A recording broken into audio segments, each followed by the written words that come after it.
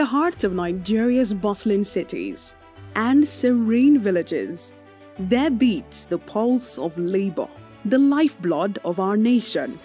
It's the International Workers' Day. Welcome to a celebration of resilience, of unity, and of the indomitable spirit of the Nigerian worker. At the recent EPN launch and first Private Employment Agencies Chief Executives Conference, stakeholders and luminaries from across the nation converged to champion the cause of workers' rights. Among them, Honorable Justice Benedict D. Kanyip, OFR, the President, National Industrial Court of Nigeria, stood tall, a beacon of hope for workers everywhere. For purposes of Convention 181, the term workers includes job seekers. This point is particularly noteworthy since in labor relations, labor rights inure at three levels.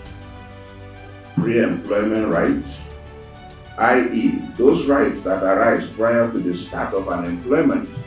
For example, rights inuring to job applicants. Secondly, employment rights, i.e. rights arising during dependency of an employment. And thirdly, post-employment rights, i.e. rights inuring at the end of employment such as pension rights.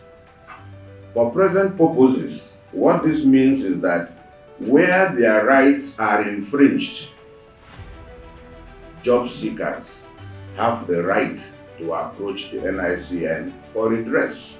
We've had instances in other jurisdictions where job seekers have complained that on grounds of discrimination, they were denied employment. It came case before us, and uh, I was curious to see how we're going to end it. But as God will have it, the parties came back and said they have decided to settle out of court. So we never got the advantage of making a pronouncement whether it was possible on ethnic grounds because that's what it looked like to say that because I am now the owner of a company, everybody who is not from my village should go.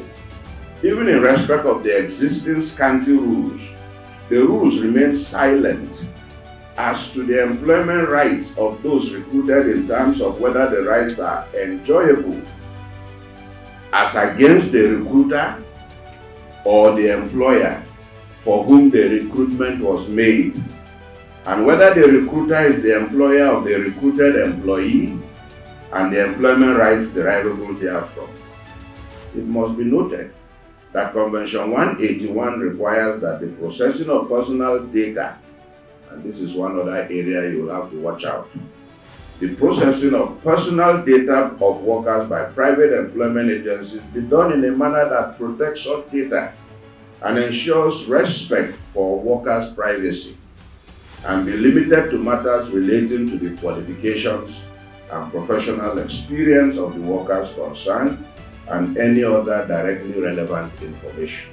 On the question whether fees and costs can be charged to workers, and if so, under which conditions, Convention 181 enjoins that private employment agencies should not charge any fee, fees or costs to workers, neither in whole or in part, nor directly or indirectly, except in respect of certain costs and fees that can be charged as regards certain categories of the workers and specified types of services if they are in the interest of the workers concerned and after consulting the most representative organizations of employers and workers.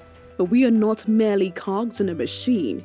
We are architects of change, agents of progress. And on this International Workers' Day, we stand shoulder to shoulder, united in our quest for fairness, for equality, and for a brighter tomorrow. Let's continue to strive for a future where every worker's rights are honored, cherished, and protected. From all of us at Strategic Outsourcing Limited, we salute the resilience, the passion, the unwavering dedication of the Nigerian worker. Happy International Workers' Day today, tomorrow, and always.